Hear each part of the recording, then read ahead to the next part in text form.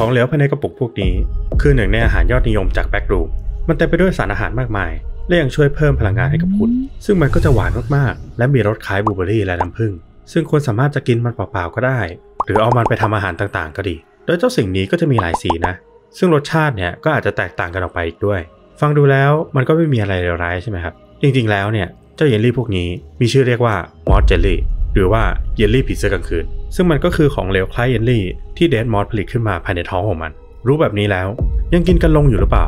แต่คุณคงไม่มีทางได้กินมันแน่นอน นั่นก็เพราะว่า